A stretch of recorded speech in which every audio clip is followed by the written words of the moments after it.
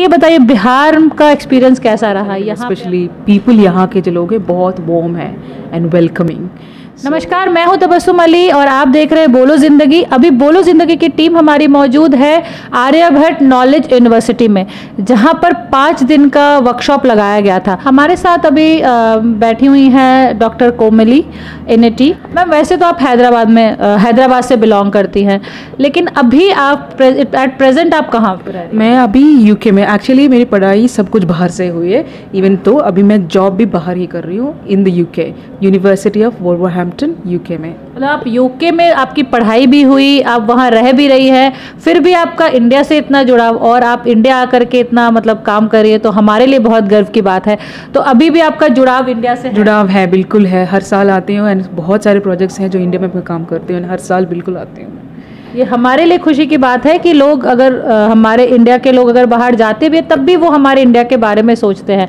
तो बहुत अच्छा लगा मैम आपसे मिल करके आइए जानते हैं क्या है ये वर्कशॉप और क्या क्या यहाँ पे किया गया। मैम, ये किस तरह का वर्कशॉप ये है फाइव डेज़ का early career researchers workshop on geospatial analytics and urban planning है, जिसमें पाँच दिन का training plus note workshop lectures ये सब आयोजन किया गया है। जिसमें अलग अलग स्टेट से एकेडमिक्स रिसर्चर्स आए हैं एंड वो पाँच दिन के लिए ये सब सीखा है।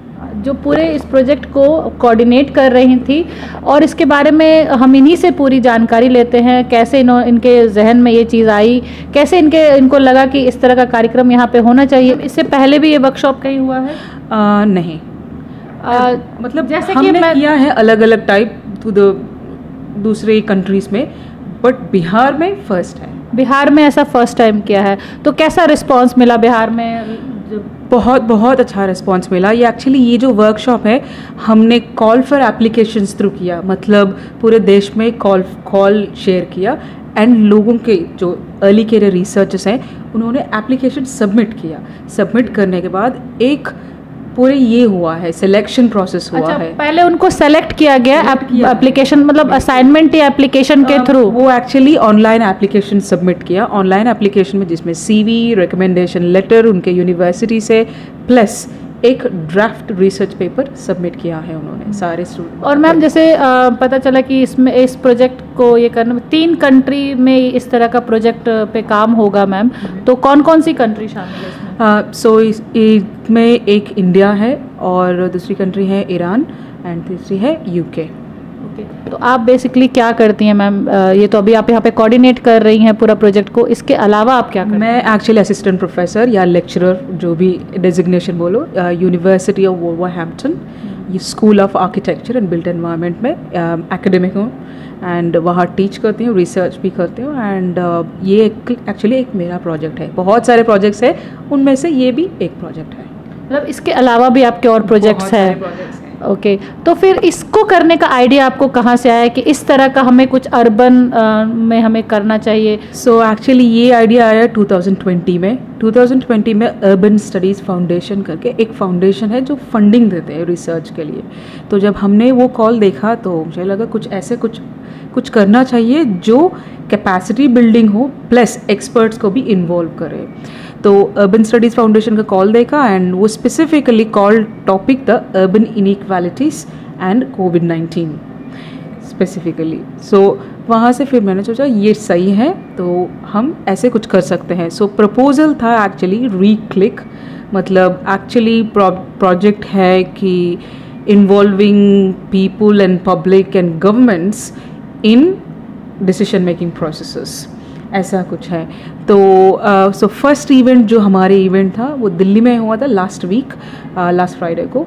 And the topic was urban precarity and COVID nineteen तो वो एक्चुअली है अर्बन थिंकर्स लैब जिसमें एक्सपर्ट्स सारे एक्सपर्ट्स का डिस्कशन हुआ है। ये है अर्ली करियर रिसर्च का पाँच दिन का कैपेसिटी बिल्डिंग वो एक्सपर्ट्स का डिस्कशन लैब है। इट मीन्स हम ये कह सकते हैं कि वो एक्सपर्ट का आपने वहाँ किया यहाँ पे जो लोग पार्टिसिपेंट थे ये आगे चल के एक्सपर्ट्स बन, बनेंगे, बनेंगे। उस तरह का यहाँ पे वर्कशॉप का जो किया है आपने तो मे बी ये आगे चल के एक्सपर्ट हो सकते हैं जो यहाँ सीख करके जाएँगे। एब्सोल्युटली अगर आप देखा जाए हमारे इंडिया में रिसेंटली नीति आयोग के रिपोर्ट है उसमें आया है कि पूरे इंडिया में एटलीस्ट पंद्रह हज़ार के प्लानर्स अर्बन प्लानर्स की ज़रूरत है। जिसमें पूरे शहर है सेवन थाउज़ेंड कुछ टाउन्स हैं सिटीज़ एंड टाउन्स पूरे इंडिया में। में से कुछ सिटीज़ हैं जिसमें एक भी अर्बन प्लानर नहीं है। सो so, ये सब कैपेसिटी की ज़रूरत है एंड हम तो जानते हैं स्मार्ट सिटीज़ हो या हेल्दी सिटीज़ इनिशिएटिव्स हो या फिर वापस healthy cities actually government of India ने रिसेंटली लास्ट अक्टूबर को एक इनिशिएटिव uh, लॉन्च किया वो है हेल्दी सिटीज़ इनिशिएटिव्स मतलब अगर कोविड नाइन्टीन दोबारा आएगा तो फिर हम कैसे टैकल किया जा सकता है? बिल्कुल, शायद कहीं ना कहीं कोविड से इंस्पायर होकर के उस समय जो कोविड के टाइम में जो लोगों को जो परेशानियाँ झेलनी पड़ी हॉस्पिटल्स के लिए या एक अच्छे सेफ़ प्लेस के लिए तो अब जो आगे जो प्लानिंग होगी अर्बन सिटीज़ की, वो इन सब चीज़ों को ध्यान में रख करके if I am right ma'am कि ये सारा जो आप लोग ऑर्गेनाइज कर रही हैं ये शायद फ्यूचर को ध्यान में रख करके ताकि आगे लोगों को ऐसी परेशानी का सामना ना करना पड़े। बहुत अच्छा काम कर रही हैं मैम और ऐसे ही आप आगे भी इस तरह का करते रहे।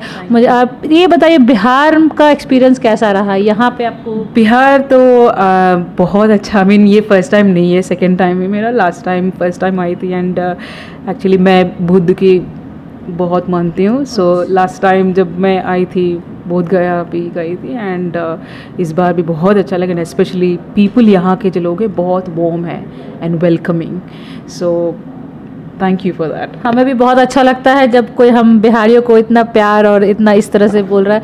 बहुत अच्छा लगा मैम आपसे बात करके और हमारे ऑल द बेस्ट हमारी पूरी टीम की तरफ़ से। आप इसी तरह अच्छे अच्छे काम करते रहे और ठीक है डेवलपमेंट की तरफ़ तो हम बढ़ ही रहे हैं लेकिन उन बेसिक चीज़ों को भी आप लोग ध्यान में रख रहे हैं। मेनली कि पब्लिक की ज़रूरत को ध्यान में रखना सेफ्टी के साथ जो आप काम कर रही हैं। बहुत अच्छा लगा आपसे बात करके। थैंक यू सो मच है। आगे आगे और भी करेंगे। Thank you, ma'am.